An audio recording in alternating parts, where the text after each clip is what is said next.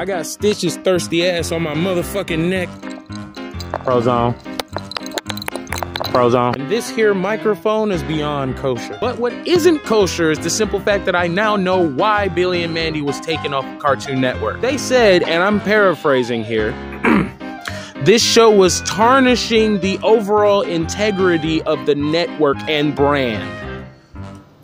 Whatever the fuck that means. Oh, we're Cartoon Network. We make good shows. I did that Billy and Mandy stuff. I don't know what he's doing. Unnecessary uproar within company. And because Cartoon Network came to this conclusion, the creator of the show ended up getting fired. Not only did he lose his job, but Cartoon Network tried to publicly humiliate him. Basically, they did everything they could to try to blackball this man. To be fair, damn near anyone who was working for Cartoon Network in 2009 was getting fired. It didn't matter who did what, when, where. It didn't even matter if it was a popular show. Gone. But all that extra shit that Cartoon Network did was just unnecessary. The sad part about all of this is that he actually wants to work on Adult Swim. But considering that Cartoon Network is still pretty butthurt over Billy and Mandy, that probably won't happen anytime soon.